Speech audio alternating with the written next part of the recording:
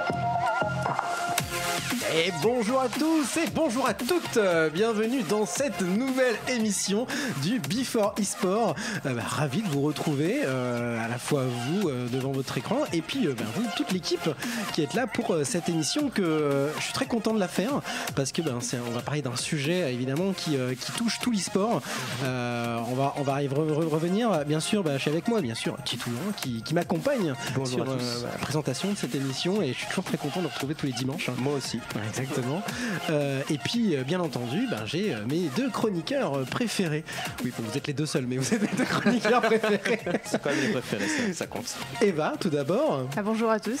Ça va Ouais, ça va très Ouais, bien. bah, très bien. passez Contente une bonne d'être là aussi. Oui, effectivement. Et puis, euh, bien entendu, Flo, euh, Yas Darkoubi. Bah, moi ça va. Monsieur Je suis un peu fatigué. Je prends du Crazy Tiger parce que j'en peux plus, mais sinon ça Crazy va, Tiger, sinon ça va, ça va, ça va. Euh, et donc aujourd'hui, on va parler d'un sujet bah, que j'avais très très envie de faire, bah, de- presque depuis le début. Euh, bah, on va parler de Blizzard et euh, bien sûr plus particulièrement de Overwatch. Et pour la peine, vu qu'on parle d'Overwatch, on était obligé d'inviter euh, avec nous bah, Atibou, qui est rien de moins que Le meilleur. l'un- le meilleur, le meilleur, Oh on va dire. L'un des casters de bah, la Coupe du Monde d'Overwatch et l'Overwatch League Oui. sur, sur Overwatch, sur Overwatch FR. On, on aura l'occasion de, de discuter de ce que tu fais, bien sûr, au cours de l'émission. Et puis, euh, bien sûr, bah, de parler d'Overwatch. Hein, c'est- le sujet qui nous sujet. Et puis de parler de Blizzard. Je pense que tu connais un petit peu. Un petit peu, Un petit voilà, peu. de lancer une petite start-up Ouais, pour ceux qui connaissent start-up, pas. ouais, et euh, à mon avis, elle va faire du bruit. À mon avis. Voilà, vous pouvez nous retrouver bien sûr, bah, ceux qui nous regardent, vous pouvez nous retrouver sur Twitch, euh, hyperlink underscore RVL, et puis bien entendu sur les réseaux sociaux, sur Twitter, arrobase, before esport, et sur Facebook, before esport. On sera ravis de répondre à vos commentaires et tous vos tweets et tout retweet et tout. Enfin, on, on- voilà, on, fera plein de choses avec vous. On est là. Voilà, on est là, on, on- on est, euh, on est au taquet. Et bah très bien, bah écoutez, bah, après avoir fait toutes ces présentations, et ben on est parti pour les news.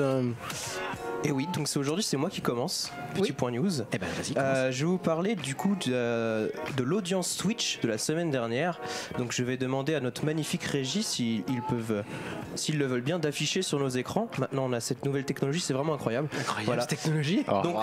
l'audience. Twitch euh, du, donc du, de la semaine dernière, du 24 septembre au 30 septembre. Et voilà, c'est assez intéressant parce que Oui. déjà, ce qu'il faut, ce qu'il faut noter, c'est que il y a une nouvelle catégorie qui apparaît sur Twitch, donc le Just Chatting. Donc on peut voir qu'il est déjà, euh, donc déjà dans le top 10, juste au-dessus de l'URL. Donc maintenant, ils ont différencié le Just Chatting de l'IRL. Oui. Donc on a deux, cati- deux catégories différentes et qui prennent déjà une grosse place. Donc on peut déjà voir que l'URL est quand même dans le bas du tableau, donc dans le top 10 juste devant Hearthstone et juste devant Just Chatting. Donc du coup, Just Chatting est devant Hearthstone, voilà. Bon, petit point noir par rapport à l'émission de la semaine dernière, de la semaine dernière bien Non, sûr. on a, on a, on a On commencé. en a parlé. On a commencé par euh, voilà, Overwatch, puis on va remonter petit à petit euh, sur Ah, les voilà. sujets. Bon, il y a, il y a- alors, bon, on en reviendra. Attends, nous on fait partie des 5,2 millions de Just Chatting.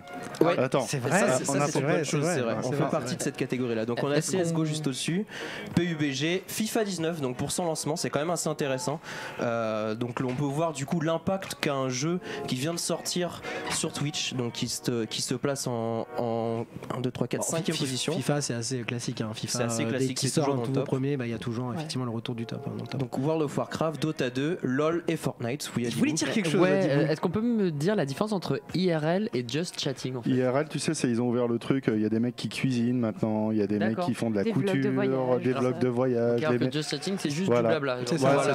En fait. C'est juste, euh, c'est du facecam en fait, et euh, la discute avec sa, avec sa commune. Ouais. La catégorie euh, talk show qu'il y avait avant. Ils l'ont coupé en deux, en deux trucs maintenant. Mais par contre, pour, que, marche. pour que ça fonctionne, il faut quand même que tu aies un rapport avec euh, le jeu vidéo. Il faut toujours qu'il y ait un rapport parce que sinon, tu rien à faire sur Twitch. Bon, C'est- des fois, on le cherche quand même. hein. Voilà, c'est- il y, a- il y a toujours, il y a toujours cette Ouais, non, ils sont euh, ouverts question. un peu hein, parce qu'il y, a des- c'est il y a des mecs qui font de la cas, cuisine maintenant. hein. Il y a Oui, des euh, trucs si. comme ça. hein. Il y a aussi des personnes qui font du politique, Aussi. effectivement, qu'on connaît bien. Non, non, ils sont ouverts un peu. Ils s'ouvrent de plus en plus Twitch. C'est vrai. Ils ont ouvert depuis le 1er janvier euh, 2017 en fait sur d'autres d'autres sujets que le jeu vidéo. Ok, ça marche. Mais bah, effectivement, avant, oui, effectivement. ouais, ils Et à noter du coup euh, l'énorme domination de Fortnite, donc qui, vidéo. qui incroyable. cumule à 22,5 millions. 22,5 millions, c'est presque le double de League De of Legends. ouais. On n'aurait jamais pensé en fait. Et pourquoi? Bah Pour vous dire, des- donc les audiences, il y a aussi les audiences, on n'a pas l'image, mais les audiences des, des streamers. Ça, c'est les, au- Ninja, ça, c'est les audiences en nombre d'heures. hein, on est Voilà. d'accord. hein. euh, c'est ça. Oui, Hmm. par review, ouais, tout à fait. Et euh, du coup, les, les audiences pour les streamers, donc c'est Ninja toujours premier avec 4 millions. Ouais, à noter que pas. le mois dernier, il était quand même à 8,5 millions. Petite baisse, Oh, mais petite comme baisse disait quand Florent, même, il a aussi baissé dans, sa, Ouais, il a dans moins, son nombre de streams. Il a moins nous stream- entend, attention il quand a moins Ninja. streamé cette Donc semaine. Ninja, Ninja à 4 millions, Shroud à te voit. 1,9 millions. Je vais devoir retweet.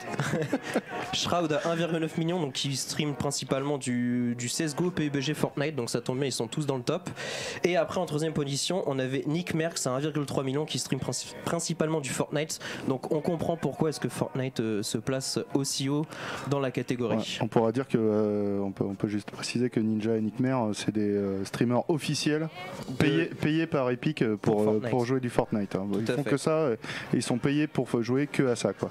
Je veux savoir s'il y a des top streamers qui arrivent à monter euh, sans streamer du Fortnite maintenant, parce qu'il y en a tellement partout, tout le monde s'y met. Même sur YouTube t'as que ça. Bah, donc, euh, Pour le coup, Shroud qui est en deuxième position de base, est quand même joueur pro de CSGO. Mais il s'est quand même un peu mis à Fortnite. mis à Fortnite justement pour Ouais, il compte pas, c'est bon. Ah, comme, comme Gotaga qui était vraiment un gros, un gros euh, streamer euh, sur Call of Duty, bah, il s'est ouais. euh, euh, complètement converti sur Fortnite et ça lui a bien réussi. Tout à fait. Donc euh, voilà. Et, euh, on l'a pas en France? Euh, bah non, j'ai pas les chiffres. pas les chiffres françaises. J'ai pas les chiffres en France. euh, j'ai juste pris ces chiffres-là parce que c'était vraiment euh, intéressant de voir euh, dans le monde. Alors euh, je connais plus ou moins les chiffres. Alors je connais pas de, ce- de, ce- de cette semaine-là. Euh, je sais qu'en France c'est Solari, Fortnite hein, qui, euh, qui domine. Et puis toujours avec euh, Domingo, Zerator toujours hein, qui, euh, qui rac- qui racole derrière. hein. Mais en, fait, en web TV on a effectivement bah, Solari et euh, au gaming qui, euh, qui tiennent la tête de la. C'est du- plus des web TV du coup. Tout à fait, vrai. Contrairement, euh, contrairement aux États-Unis. Il n'y a pas de web TV. Voilà. Ouais. Grosse différence avec la France. hein. Voilà. ouais, c'est intéressant. Bon, bref. Fortnite, coup, euh, on euh, savait. petite Autre petite news, du 2000, coup, ouais. Florent Ah oui, euh, moi j'ai une, news une- une alors bah je sais pas, et peut-être qu'ils savaient qu'on allait faire cette émission euh, cette semaine. Ah, donc, ils s'en euh, doutaient. Ils s'en doutaient, ils l'ont fait pour nous. Ils l'ont dit, ben oui, en fait, Mac Moraine, le président de Blizzard, bah, n'est plus le président de Blizzard. Ah il a démissionné, ce monsieur, évidemment, donc, et euh, c'est euh, Alan Brack, le directeur de production de World of Warcraft, qui prendra sa place prochainement. Pas plus connu, hein.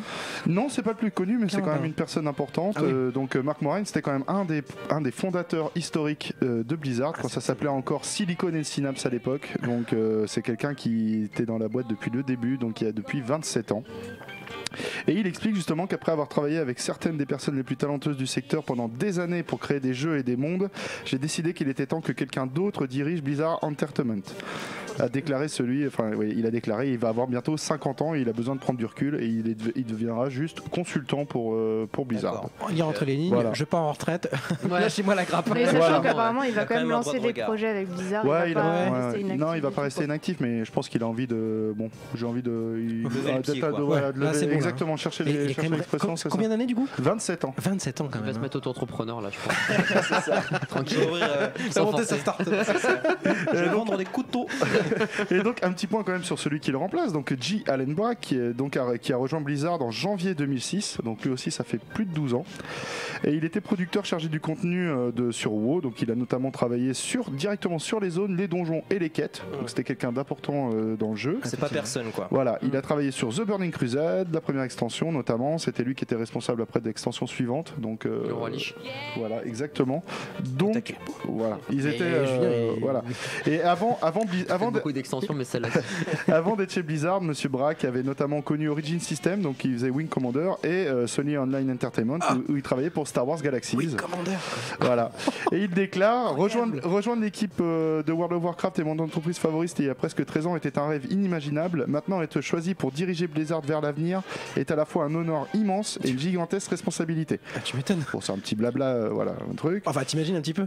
Tu te compte, euh, on- tu, tu joues à tous les jeux quand t'es Ouais. gamin et tout, et puis euh, là on te dit, bah voilà, t'es patron de la boîte. C'est toi le boss, ouais. Voilà. Et bon, on- il y a petite, euh, petite euh, news supplémentaire. En parallèle de, de cette nomination, il y a Blizzard qui a aussi promu euh, deux nouveaux cadres pour renforcer l'équipe de dirigeants. Le premier, c'est euh, monsieur Ray Gresco, qui est un ancien de LucasArts et qui euh, témoigne de 10 ans d'expérience chez Blizzard, où il était notamment producteur sur Diablo 3 puis Overwatch. Et donc, euh, et donc son rôle est désormais directeur du développement de l'entreprise.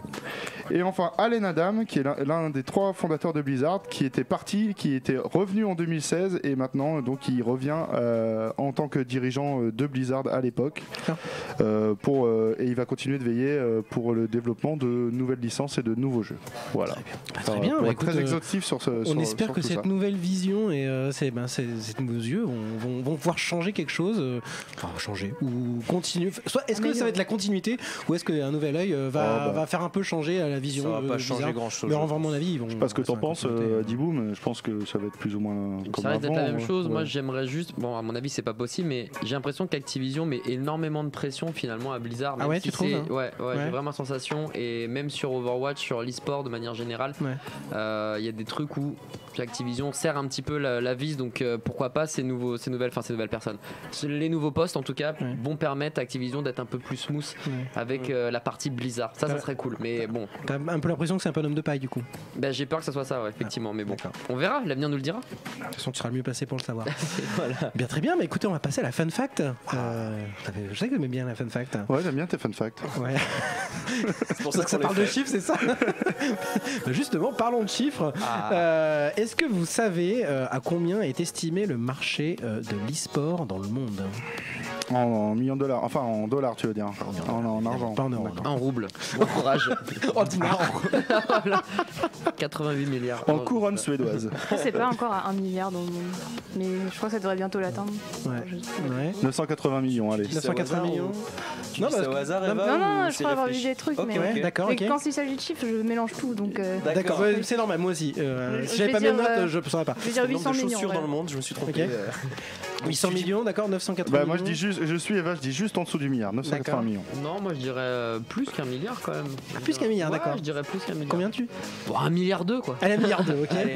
Non, moi je pense que c'est plutôt entre, on va dire, 750 et 1 milliard, ouais. Pas D'accord. encore le milliard. Ah, 750 Ah, non, mais c'est milliards, toi t'as une grosse fourchette toi. Bah, C'est entre ouais, bah, 1 en et même 8 temps, euh, milliards. Moi t'es à peu près ton chiffre quoi. Ouais, c'est ça. C'est entre Bon, 0 allez, et l'infini. disons 930. 930, d'un milliard, quand même, 930. Et ben vous étiez euh, pas tout à fait juste, c'est juste en dessous en fait euh, de, de ce que vous dites.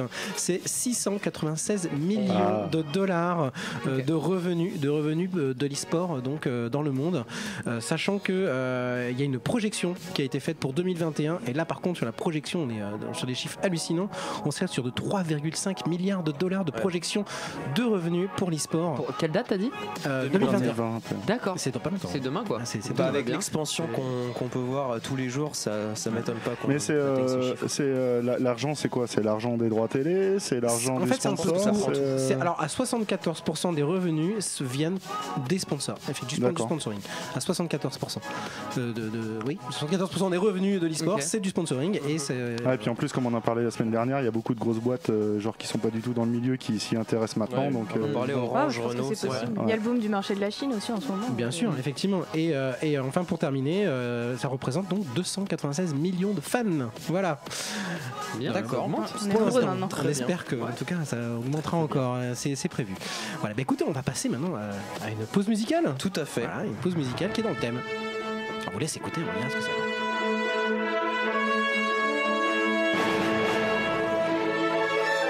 Et nous revoilà euh, pour le Before eSport. Euh, C'est toujours avec Cyril, avec Eva, avec Florent, avec Adibou et avec moi. Bon, je me dis moi, ça se dit pas, mais voilà, je le fais quand même. Mais c'est bien de se dire ça un petit peu. euh, Donc voilà. on vient de s'écouter le thème principal d'Overwatch. J'espère que vous avez apprécié euh, pomper de bonnes Rovers, comme tu disais. Voilà, Ah. très- Eh, très on va pas commencer. Ah non, Non, mais On va y aller tout doux avec Overwatch. Non, non. On y va, on y va tout doux. T'as raison, défends, Alors c'est pas pompé, on va dire que c'est dans l'esprit d'eux. Voilà. Ouais, ça fait, très, ça fait très Très musique C'est tellement sur épique, moi, les, sur les. Call of et tout. Moi Tout à ça. fait.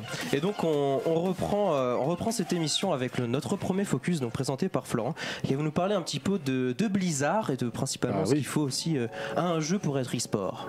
Voilà. Euh, oui, non, pas tout à fait. Juste, on va plutôt, Plutôt parler parler juste de. C'est quoi Blizzard pour ceux, pour nos amis qui nous écoutent, qui ne sauraient pas, euh, parce qu'on parle de Blizzard, on parle de Blizzard Si, depuis voilà, deux si émissions. Vous êtes, mm, sur une nouvelle, Mais- nouvelle planète, on va vous expliquer ce Bah, que c'est. Il y en a peut-être qui ne savent pas. euh, Ils, ils jouent à Overwatch ou à Hearthstone, ils savent pas. Euh, C'est Blizzard derrière. Et bah, bref, Blizzard s'est fondé en 91 par Monsieur Allen Adam, Michael Moraine dont j'ai parlé juste avant dans ma news, et Frank Pierce. Donc sous le nom, ça s'appelait Silicon Synapse.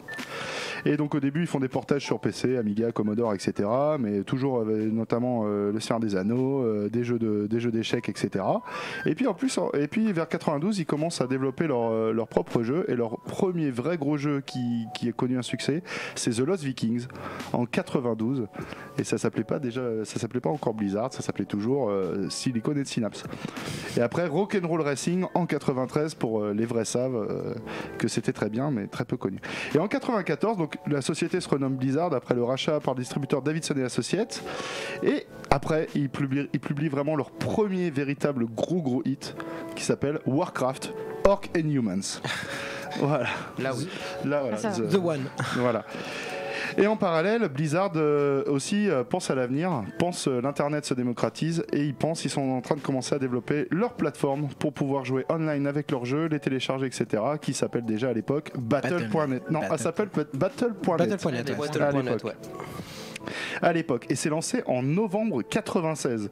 Battle.net. C'est pour te dire, euh, ça date. Ils, étaient, ils sont précurseurs de beaucoup de choses.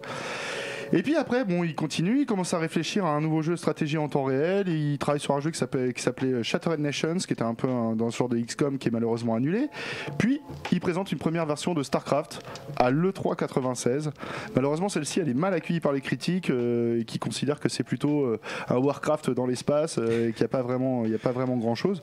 Donc ils retournent bosser sur leur jeu et StarCraft, tel qu'on le connaît, il sort sur PC le 31 mars 1998. Et là, c'est le raz-de-marée euh, Raz de pour, euh, ouais, totalement. pour Blizzard. C'est le jeu, on en reparlera, je pense, dans une prochaine émission, mais c'est le jeu qui lance l'e-sport vraiment euh, en Corée. On l'a évoqué dans la première émission. Enfin, c'est vraiment c'est le raz de marée, quoi. Vraiment. Titouan, j'attends ta relance en fait. C'est le raz de marée. J'étais Pas du tout préparé. Pas Voilà. du tout préparé.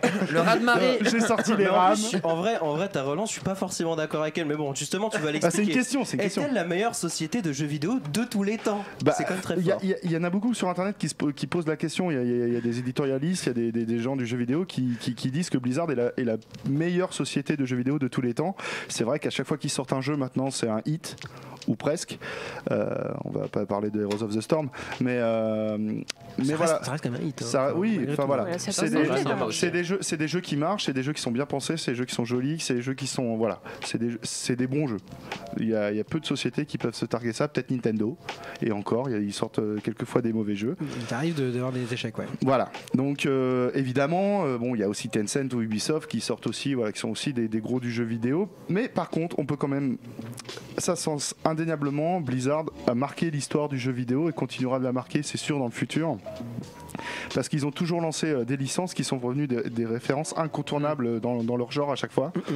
Donc ils ont lancé WoW, qui est pas le premier MMO, World mais of- World of Warcraft, World- donc. World of Warcraft, qui est fait. pas le premier MMO, mais qui s'est imposé comme la référence. Ça fait 15 ans que ça existe et euh, voilà, ça, ça marche toujours. Mm. C'est quand même impressionnant d'ailleurs. Voilà. 15 ans. euh, C'était le jeu le plus joué au monde aussi pendant 13 plusieurs ans, années. 13 ans exactement, mais enfin On, voilà. on y reviendra sur. World of Warcraft, mais effectivement, euh, c'est un très très très gros et qui a marqué beaucoup beaucoup les joueurs euh, et le marché du jeu vidéo en qui est toujours dans le top 4 euh, Des jeux, plus les- streamés. hein. Mais à, chaque, fait. à chaque fois qu'il y a une nouvelle extension qui sort, boum, il, il- D'ailleurs, il quand c'est fini, je vais aller faire des mythiques plus euh, sur, euh, sur BFA. farmer un peu. Farmer grave. Euh, évidemment, on peut parler de Diablo, hein, parce que Diablo voilà, qui a marqué Diablo, énormément, qui est- bien qui est, entendu, le, le jeu vidéo Le aussi. jeu vidéo pour le hack and slash, Diablo 3, malgré ses- les problèmes du début, reste un jeu euh, mythique et culte, euh, voilà, qui est encore joué par des millions de personnes encore aujourd'hui. Le Alors qu'il est sorti il y a 5 ans, 6 ans maintenant. C'est le seul genre hack and slash hein, qui continue en fait encore à perdurer. hein. Il Le n'y a aucun autre jeu hein, qui. Pass of Exile, mais bon, ça c'est pour les hardcore, euh, du- c'est pour les vrais. Voilà, on va dire ça comme ça. Donc, Pour les évidemment, vrais. Ouais. Euh, bon, évidemment, j'en ai parlé déjà. Euh, Starcraft, qui à l'époque arrive dans un, dans un marché très concurrentiel, le RTS, où il y en a beaucoup, beaucoup, beaucoup de, de jeux comme ça. Il arrive, après lui, il n'y a plus personne. Exactement. Il ratatine tout le monde. Il ratatine tout le monde Exactement. et personne n'arrive à faire mieux ou à s'imposer devant, devant Starcraft.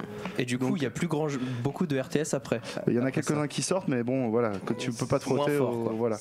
Et puis évidemment, on y a parlé la semaine dernière, Hearthstone, qui est le jeu de cartes le plus joué en ligne euh, de, de tous les temps. qui est là à nouveau encore la référence du jeu. Voilà, hein, qui est, le là- qui est devenu encore la référence du genre. Donc indéniablement, Hearthstone, euh, euh, Hearthstone Blizzard a, a- a marqué l'histoire du jeu vidéo. Blizzard a aussi été un précurseur dans l'e-sport, donc on en a parlé grâce à Warcraft, et c'est grâce à ce jeu, Starcraft, qui est devenu, qui est arrivé le principe de joueur professionnel d'e-sport. De jeux. Avant, il n'y avait pas de joueurs professionnels. Il y avait des compétitions d'e-sport, on l'a déjà expliqué. Mais c'est avec StarCraft que sont arrivés les premiers joueurs. vrai. Tout à fait. euh, les Coréens. euh, Avant, il y, avait, les il y avait un peu de Tetris avec des gros joueurs, mais c'est vrai que c'est venu Ouais, avec mais StarCraft. ils gagnaient, ils gagnaient des prix comme ça. Enfin, Ouais, tu c'est vois, c'est des mecs qui avaient un boulot à côté, qui faisaient autre chose. Là, c'est des mecs qui vont. Voilà, c'est leur, leur boulot, c'est je suis joueur professionnel de StarCraft. C'est arrivé avec, arrivé avec ce jeu. Donc principalement Donc, en Corée. Voilà. Et euh, juste pour terminer ce petit focus, euh, donc euh, Blizzard n'en reste pas moins donc a marqué, je le répète, euh, elle écrase la concurrence. Ça en reste une société très solide et avec le succès d'Overwatch, évidemment, Blizzard a de nombreux beaux jours devant elle. Tout à fait. Ouais, sans aucun doute, hein. sans aucun doute, effectivement. Bah, très bien, vrai. merci en tout cas, Merci. euh, Flo. euh, et tu n'as pas parlé d'Overwatch parce qu'on en parle juste après, c'est Ben, c'est exactement ça. Non, mais c'est très bien, c'est très bien. C'est très bien. l'ai juste évoqué. Voilà. Euh, Ju- euh, Julien, tu avais euh, peut-être des choses à... là-dessus sur ce que vient de, de dire Bah, euh, Flo. Est-ce que ouais. ça te rappelle des choses peut-être aussi Bah, côté moi je me souviens effectivement que j'avais acheté Warcraft, alors je sais pas si c'est le 1 ou le 2 sur PS1 à l'époque et j'avais acheté euh, C'est le deux, ouais. c'était le 2 que j'avais Ouais, acheté. Ouais, ouais. effectivement j'avais acheté du coup la souris qui allait et tout, enfin c'était trop bien.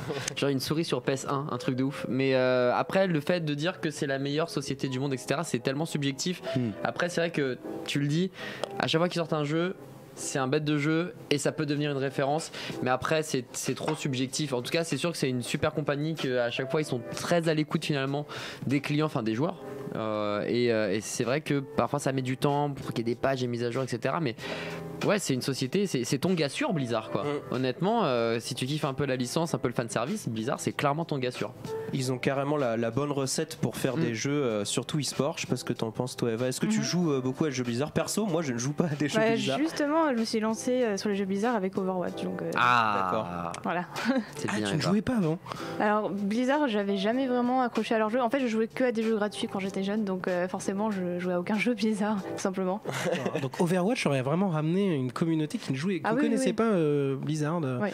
D'accord, tu jouais pas du tout à World of Warcraft. euh, Non. D'accord, ok. Il y a Diablo 3 qui arrive sur Switch, euh, faut que tu le fasses. Voilà, c'est tout ce que Ouais. j'aurais à Mais dire. le problème, en Le truc sympa. avec Blizzard aussi, c'est qu'ils aiment bien euh, lier tous leurs univers au niveau des jeux. Donc quand, on- quand on connaît aucun jeu Blizzard, des fois ça, ça donne moins envie d'aller sur un jeu quand tous les personnages sont déjà connus sur, euh, sur Oui. C'est vrai que donc du coup Heroes, euh, Heroes of the Storm, c'est pas un jeu euh, sur lequel tu es plus attiré parce que tu connais pas spécialement le- Bah, l'univers dis- Blizzard.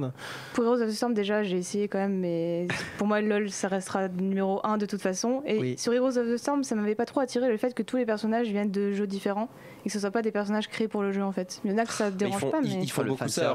Hearthstone aussi, hein, du coup, qui est. Qui est, qui Alors, est Hearthstone, les c'est qu'un univers. Hein. Non, mais les personnages sont, sont repris. Oui, mais il y a qu'un- qu'un c'est que Warcraft. il y a- hein. Oui, il y a que Warcraft. Ah, c'est toutes les licences. C'est hein. vrai, c'est vrai que ça peut, ça peut toujours perturber, mais ça peut être aussi une porte d'entrée justement.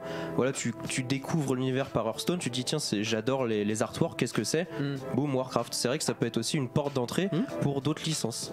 Mm. C'est c'est assez intéressant. Et du coup, oui, pour, euh, pour finir ce petit, euh, ce petit focus, j'ai une fun fact.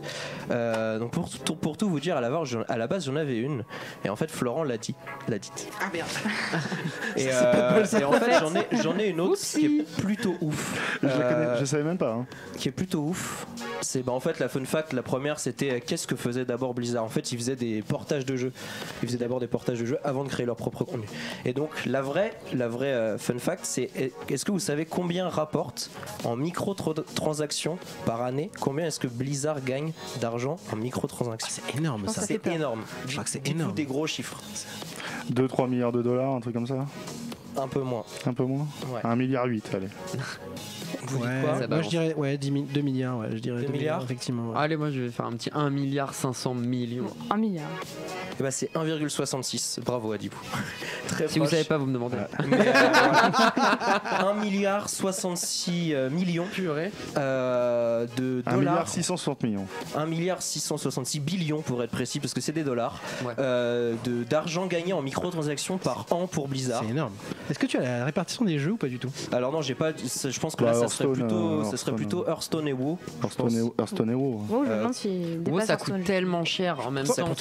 c'est- de l'abus Heroes un peu World of Storm Warcraft. Heroes of Storm aussi, hein, je crois qu'ils Mm. euh, ils ont. il Oui, y a- il y les a- boosts, les skins. et Ouais, tout ça ouais. en fait. Et même dans même- Diablo aussi, t'as des microtransactions. Oui, oui, euh, exact, effectivement. Mais effectivement, c'est les coffres. ouais, ouais, euh, effectivement, Hearthstone doit être le, ouais. Mais là, pour le coup, c'est une moyenne annuelle en fait. S'ils font ça par rapport à quelques années, donc je pense que ça prend particulièrement WoW, du coup, puisqu'il est très pérenne dans le temps.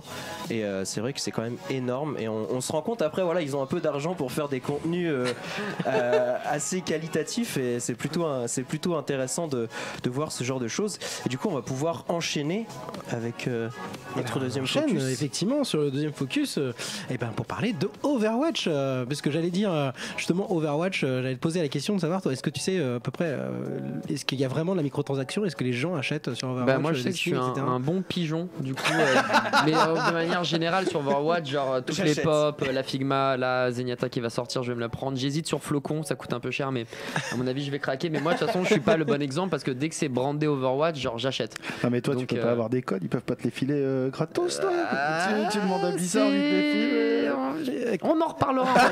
on en reparlera en off. je vais je vais rien dire mais disons que de toute façon Nous quoi qu'il arrive je soutiens la licence je soutiens la licence donc j'achète déjà là-bas si voilà il y a des trucs à côté tant mieux pour moi mais c'est pas toujours le cas donc quoi qu'il arrive j'achète mais en tout cas ouais, dès qu'il y a des coffres c'est sûr je mets un billet de 50 et D'accord. Donc même, même un jeu qui est payant de base, en fait, les gens achètent aussi quand même Oui. en micro- microtransactions. Ils, et ils, Ouais. ils hésitent pas à le faire, quoi. ouais clairement enfin si tu prends mon exemple ouais clairement en tant qu'exemple. Mais bon, peut-être que tu À connaissais au- des, des- du ton public, justement. Peut-être que tu le savais. Euh, bah, je crois que oui, dans mon entourage, c'est pareil. Peut-être qu'il il lâche pas un billet de 50, mais un petit billet de 20 histoire d'avoir quelques coffres et pourquoi pas avoir un skin. euh, Ouais. C'est surtout en fait dès qu'il y a bah, le Summer, euh, Jeux Olympiques, euh, Halloween, etc. Tu mets toujours un petit billet, voilà, parce que Ouais, t'as des skins qui sont ouais, phénoménaux. Et ceux qui arrivent là, euh, voilà, la Moira et ouais, Moira et Mm. Doomfist, ils sont exceptionnels. Donc, ouais, de toute façon, quoi qu'il se passe, il y a encore un billet qui va cramer. hein. c'est sûr. Ah, là, t'as pigeon, effectivement. t'as Ah oui, raison. c'est vrai que c'est intéressant parce qu'ils sortent énormément de goodies de très très bonne qualité mais Mm. très cher aussi. Donc du coup c'est vraiment le dilemme absolu quoi. C'est il joue beaucoup sur la marque. Mm. Et ben on va parler justement ben, d'Overwatch. Euh, ben, nous- ben, tu vas nous expliquer, euh, Eva, qu'est-ce qui, qu'est-ce qui fait que Overwatch est un jeu un peu à part dans le dans l'univers de l'e-sport et, euh, et, euh, qu'est-ce qui fait que euh, Blizzard a réussi en tout cas le pari de, de faire un, de Overwatch un jeu e-sport comme il comme il le voulait. Bah déjà en tant que jeu c'était vraiment un coup de génie euh, de la part de Blizzard de sortir un, un fast FPS comme ça qui est un peu un ovni. Au moment où il sort il n'y a pas beaucoup de jeux du même genre. Il y a Team Fortress 2 par exemple ou Quake. Mais euh, ils, ont vraiment, ils relancent un peu le genre avec... euh, T'as quelque chose à dire ou, Non, non, euh, c'est pas ça, parce que si tu parles de Team Fortress 2 et Quake, c'est. Voilà, effectivement, ça Ouais. relance Après, totalement. Ça, ça ouais, date, ouais, Team. Fortress 2 c'était quand même assez actif, mais oui, le jeu était un peu en baisse et euh, ils ont eu cette idée de, de tout relancer avec Overwatch. Je pense que c'était quand même un, un- un pari risqué et ils ont réussi. Donc à la base, ils comptaient même pas en faire un jeu e-sport selon ce qu'ils disaient quand ils ont sorti le jeu, mais la communauté a tellement aimé qu'il y a plein de compétitions qui ont commencé à se faire très rapidement et c'est comme ça qu'ils ont fait la première Coupe du Monde en 2016, donc l'année où le jeu est sorti. Il y avait déjà une première compétition officielle mondiale, quoi. Donc euh, dès ce moment-là, ils se sont rendus compte que ça allait marcher et ils ont mis euh, un budget phénoménal dans l'e-sport et de plus en plus chaque année. Donc euh, à la BlizzCon 2016 déjà il y avait la phase finale de la Coupe du Monde donc remportée par la Corée du Sud et, euh, ils étaient déjà au-dessus tu vois sur le jeu ça c'est un- il y a des choses qui changent Toujours. pas dans l'e-sport Quand tu veux jouer un jeu, il y a déjà un coréen qui est mille fois meilleur que toi. Ça fait deux semaines ouais, qu'il est sorti, meilleur. ça fait un mois, il joue lui. non Et il a 8 ans. Il a 8 ans. ouais. c'est ça donc ça a eu quand même son petit succès et euh, à la BlizzCon c'est là qu'ils ont annoncé l'Overwatch League donc un très très gros projet euh, de d'e-sport donc l'Overwatch League c'est une ligue franchisée qui est basée à Los Angeles et il y a 12 équipes en 2017 qui ont acheté une, euh, une place qui coûtait apparemment au moins 20 millions de, 20 millions de dollars en fait. Et ils ont créé de, ils ont lancé le truc avec des très gros partenariats, notamment avec Twitch. Où on- quand on regarde les compétitions, on peut voter sur des sondages. Il y a plein de choses à faire. On peut gagner des contenus en regardant. Et euh, ils ont tout misé sur les sports. euh, enfin, c'est même euh, une attitude hyper agressive au final de Blizzard. euh, ils ont complètement lancé le truc eux-mêmes au final. Et euh, donc les, les nombres sont un peu faramineux au niveau de leur Overwatch League. Déjà 20 millions d'euros la place, et euh, enfin de dollars, mais au niveau euro c'est à peu près pareil maintenant. Mm, mm. Et euh, pour la saison 2, la place a déjà doublé. Même en fin de saison, ils continuent à faire des partenariats euh, hyper importants, notamment avec Twitter, avec Disney XD. Maintenant, ça passe sur la télé, Overwatch League. Et aussi avec ESPN, euh, la chaîne incontournable sportive euh, aux États-Unis. Et le modèle, il ressemble vraiment au sport traditionnel. Ils ont vraiment pris parti de, de, de se rapprocher du sport traditionnel, ce que ne font pas tous les éditeurs. Mm. Et c'était quand même assez intelligent, dans le sens où quand une marque achète une équipe, comme Immortals ou Cloud9, etc., ils ont été obligés de se rebrander et de prendre un nom d'équipe qui s'attachent à une localité comme London Spitfire ou Seoul Dynasty, etc. Même Des si les joueurs, franchises. voilà, et même si les joueurs euh, sont pas forcément de la nationalité euh, de la localité, il y a quand même des fans.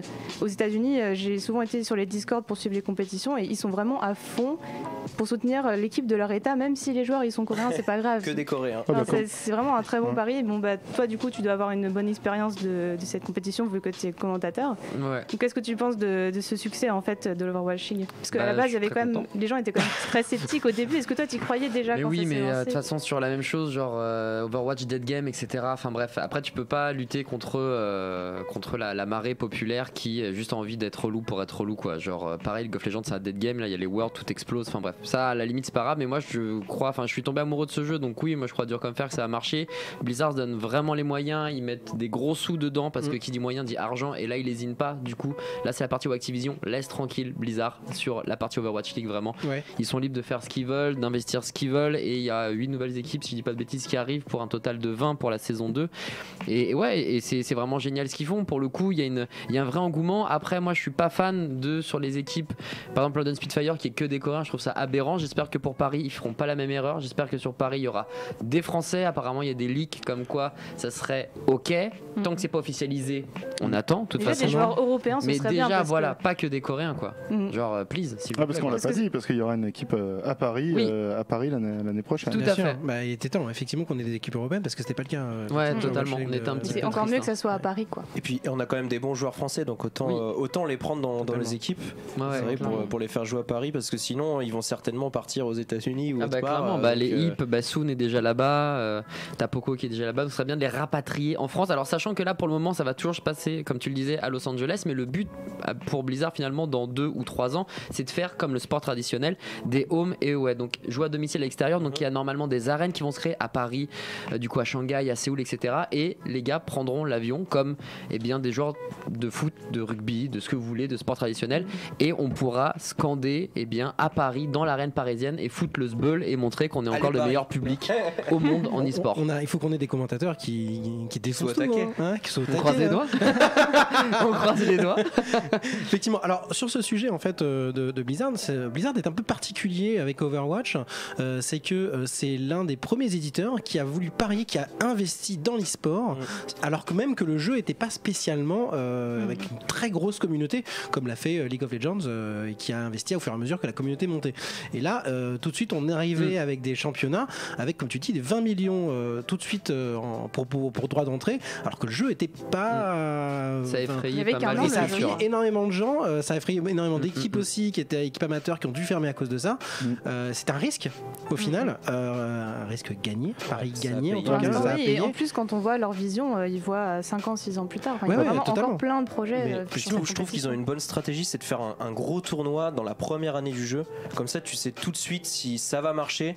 Tu captes toujours la hype des gens qui viennent de découvrir le jeu. Je me souviens, moi j'ai plein de potes qui ont découvert Overwatch par les, par les premières compètes. En Ouais. fait, ça arrivait tellement Mm. vite. Et comme tu vois des joueurs excellents jouer, t'es là, tu fais waouh, qu'est-ce qui se passe quoi? Surtout que Overwatch ça va très vite, c'est très spectaculaire à voir. Et ils ont fait le pari gagnant de se dire, mais ça, ça marchera forcément Mm. à l'écran, à regarder. Ça va vite, donc tu tu- tu t'ennuies pas. Et en fait, c'était le meilleur plan, je pense, à faire. Et là-dessus, Blizzard sont vraiment très forts. Après si, je, après, si je peux me permettre, excuse-moi Eva, euh, moi qui ne suis pas trop Overwatch, euh, parce que un, j'ai pas le temps de jouer au jeu, donc voilà, c'est justement ça, je trouve un peu le problème, c'est que tellement ça va vite, Mhm. quand t'as pas le temps d'y jouer, que tu joues pas au jeu, c'est un, c'est un peu comme euh, LoL, je trouve c'est encore, c'est un peu plus facile de se mettre dedans, même si tu joues pas.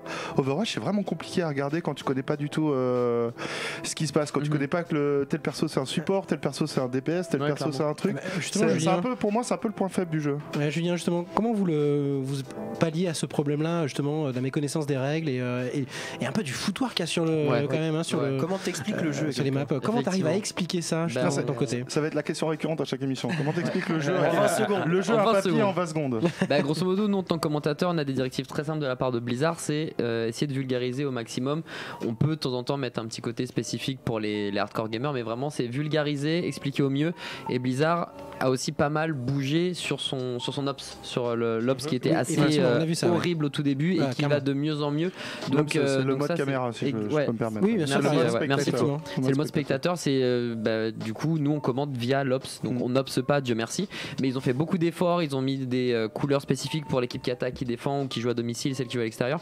Donc finalement, ouais, c'est ils ont fait des efforts là-dessus et nous, ça nous permet de mieux bosser en espérant bientôt avoir plusieurs écrans pour encore plus expliquer, enfin pour mieux expliquer l'action qui effectivement parfois est un peu fouillie, mais ça c'est notre boulot et bah voilà, on essaie de faire au mieux. Parfois c'est c'est rattraper une, une cascade avec une cuillère quoi. Il y a Mm. trop d'infos et Mm. c'est à toi vraiment de gérer au mieux pour que ça soit le plus digeste possible. D'accord, ok. Donc c'est vous qui sélectionnez en fait les actions que vous voulez, euh, que vous voulez commenter parce que Bah, on, est tributaire actions, de l'Ops. impossible. On est tributaire flux, de ouais. l'Ops, mais c'est nous qui décidons de commenter soit la bombe impulsion, soit l'autodestruction, soit le, le slip du support, soit la transcendance qui pop. ouais. Oui, ça c'est à nous de décider ce qu'on veut commenter.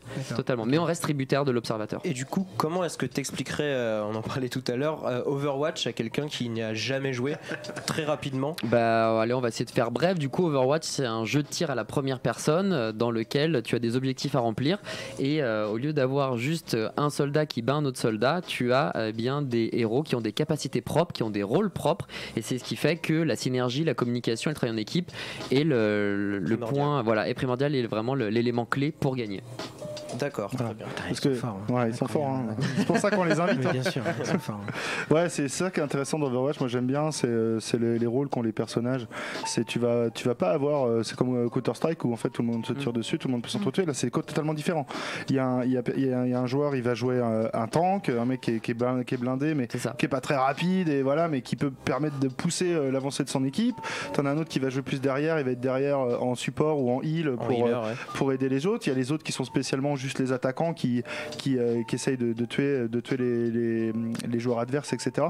C'est ça qui est très intéressant dans Overwatch au niveau. euh, C'est un. Côté jeu de rôle, enfin le class Ouais. hero, c'est vraiment ça. stylé. Et puis ils vont même plus loin parce que euh, sur Team Fortress par exemple tu as des rôles différents mais tu Mm. pas de capacité alors ça. que là tu as plusieurs capacités en ultime aussi donc tu es obligé d'avoir plus de stratégie c'est intéressant. Oui, parce qu'entre deux tanks, ils font pas la même chose, ils ont pas les mêmes. euh, Ils ont repris en fait le modèle de Team Fortress qui marchait bien et ils ont été beaucoup plus loin. Mm. Au, final, au final, ça fonctionne très bien. et- On rappelle qu'Overwatch à la base ça devait être un MMO, ça devait être le MMO qui remplace, euh, World of qui remplace World of Le fameux Warcraft. hein. Projet projet Titan. Projet Titan qui a été annulé après 7 ans de développement et euh, ils ont pris une toute petite partie de ce projet Titan pour en faire Overwatch. Qui en fait devait être, bien fait. normalement Ouais, devait, clairement. être, devait être le PVP de, du projet Titan et c'est devenu Overwatch. quoi. Ouais, tout à fait. Voilà. Euh, C'est beau. Très bien. Euh, dernière petite, euh, petite question, euh, peut-être à ou, ou, ou Eva d'ailleurs. Pour vous, en fait, qu'est-ce qui a fait le succès d'Overwatch en dehors de, en dehors de l'investissement qu'a pu mettre, qu'a pu mettre euh, Blizzard? Qu'est-ce que d'après vous le- a fait que le public a réussi à être capté par, par le jeu Hmm. Déjà euh, les graphismes qui font très jeunes, D'accord. fait que tout le monde peut s'y retrouver un peu comme Fortnite, il n'y a pas de limite, il y a pratiquement pas de limite d'âge par exemple. Mhm. Aussi un univers, euh, bah, un nouvel univers pour que les gens ne soient pas perdus quand ils connaissent C'est pas. pas les- Warcraft. Voilà. Mais ça c'est sûr, oui, effectivement. Et donc le genre Fast FPS qui, euh, qu'ils ont très bien revisité, je pense. Ouais, d'accord. Ouais, en quelques points, c'est pareil. Genre, juste parler du jeu en lui-même, quoi. La qualité du jeu, c'est un bon jeu, c'est un bon FPS. un Genre, bon on FPS, ouais. vraiment des barres dessus. Ouais. Donc, ça, c'est important. Et puis après, bah, par rapport à la France, etc. Mais du coup, dans les autres pays, c'est aussi la ferveur de tous les gens qui supportent leur équipe et leurs joueurs francophones. Ou euh, si on est belge, on va supporter Ouais. un joueur belge, etc. Et ça aussi, finalement, ça a bien fonctionné. Comme ils voulaient faire de l'e-sport, Ouais. ben, de voir qu'il y a une, euh, un vrai engouement des National. pays sur, leur, Oui, sur leurs justement. joueurs. Ça, Oui, c'est cool. Ça fait partie du jeu en fait, puisqu'effectivement les, les jeux se passent dans des pays différents. En Donc, plus. euh, effectivement, ça fait partie du jeu. Tu as la carte. Mais ils sont euh, aussi intelligents avec la Coupe du Monde. Il n'y a pas encore Mm. beaucoup de jeux qui font des Coupes du Monde comme ça. Tout et c'est vraiment intelligent parce que chaque année, ils ramènent des nouveaux joueurs et des nouveaux fans d'e-sport grâce Mm. à cette Coupe du Monde. Mm.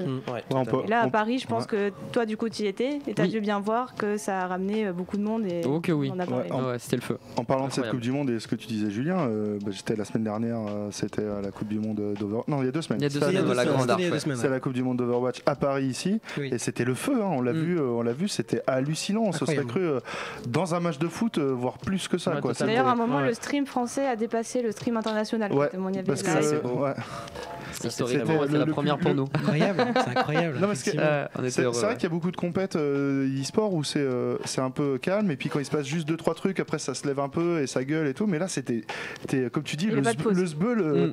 le pendant tout le temps de la compétition quelle que soit l'équipe c'était le bordel c'était Ouais. vraiment. Hallucinant ouais. Et puis le public français qui en plus encourageait certaines autres équipes, pas que la France. Bon, quand la France elle joue, c'est voilà, c'est pas possible. Mais genre il y avait un Italie-Pologne, on était pour, enfin on, le public français était pour les Italiens et dès qu'il y avait un truc, ça explosé. Enfin, non, franchement, on a de la chance. ce qu'ils nous ont fait en Coupe du Monde cool. 2006, je suis pas d'accord. Il y a des choses faut éviter. E-sport, sport, non, ça se croise. Il y a des choses on peut pas, ça c'est pas Je comprends. possible. Baptiston, si tu nous regardes.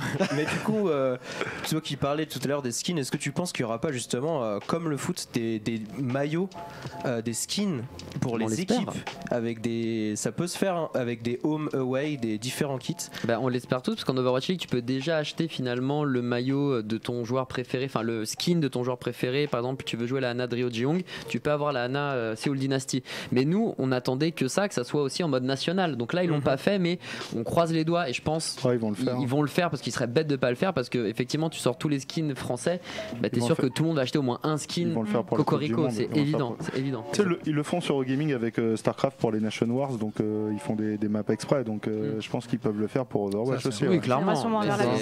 c'est- une chroma à faire, donc il n'y a rien de bien compliqué. Puis c'est déjà fait, puisque quand Oui, les gens jouent, ils ont déjà Bah, finalement la France, etc. C'est pas, Donc, grand- euh, c'est pas grand chose. À, à rajouter, mais par contre, ce serait un, un bon coup économique. Je ah bah là, le stagiaire il fait ça, il récupère des milliards. Donc euh, ouais, tu m'étonnes. Et, euh, De- D'Amérique du Sud, ben, Ouais, 1,5 ouais, milliards, on va dire. 66 milliards. ouais. J'ai une dernière question. Moi, je voulais juste savoir, donc pour ceux qui suivent pas trop Overwatch ou qui voudraient s'y mettre, dis-moi, Dibou, comment on peut suivre l'Overwatch euh, League tout, tout au long de l'année et pas que l'Overwatch League parce qu'il n'y a pas que ça comme euh, complet, Bah, j'imagine. effectivement, tu as les contenders aussi que tu peux suivre, tu as les trials, euh, mais grosso modo, si tu veux regarder la compétition mère, eh bien, tu as le site Overwatch League euh, FR, tu as le site officiel sinon américain si tu, voilà, si tu veux regarder aussi en quinri, tu as l'application qui existe aussi sur téléphone mobile, tu vas avoir euh, bah, plein de petits sites euh, ou euh, sur Twitter des gens qui vont l'information, et puis tu as aussi nous en tant que commentateur, tu plus qu'à nous suivre et nous, dès qu'il y a une info, on la relaie. Donc euh, voilà, il y a 1000 canaux pour suivre Overwatch et l'e-sport d'Overwatch. D'accord, très bien. Suivez Adibou sur Twitter. Suivez Voilà. Adibou sur Twitter euh, pour, euh, pour euh, suivre toutes les aventures. La chaîne Twitch euh, Overwatch, Over- Overwatch League euh, Overwatch underscore FR, Underscore ça FR, exactement. Ouais, Overwatch League underscore FR. Overwatch, underscore. FR pour suivre toutes les compétitions et puis euh, toute la team, euh, bien sûr. Donc, euh, Les broadcasters. Les putain, c'est vrai que c'est c'est un peu ça, Ouais. effectivement.